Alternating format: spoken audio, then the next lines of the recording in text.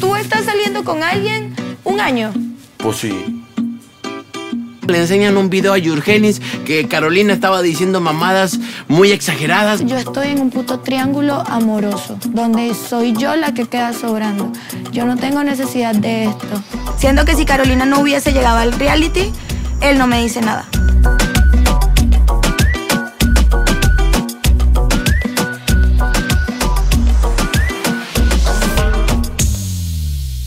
Por favor, no.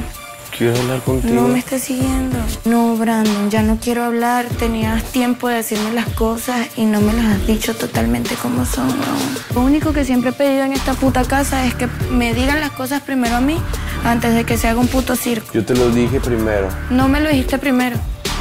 Salgo de la sala tornado y me sale el video de Carolina diciendo lo que estaba diciendo. Brandon tiene una relación hace como cinco años, están casadísimos, viven juntos, tienen perrijos.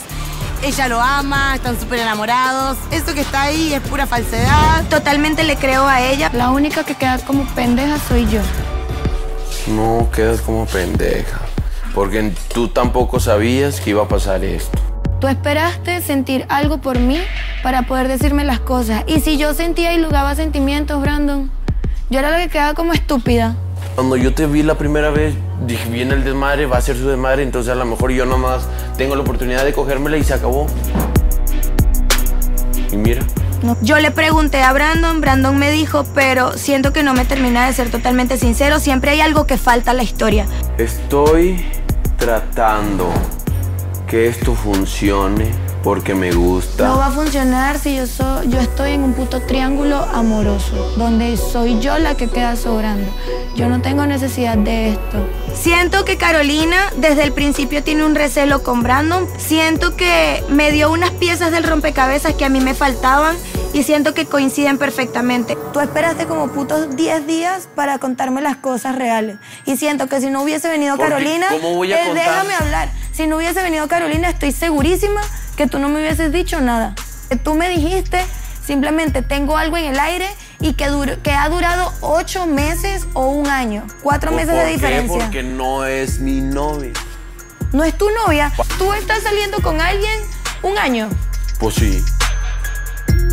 Conmigo no funciona así.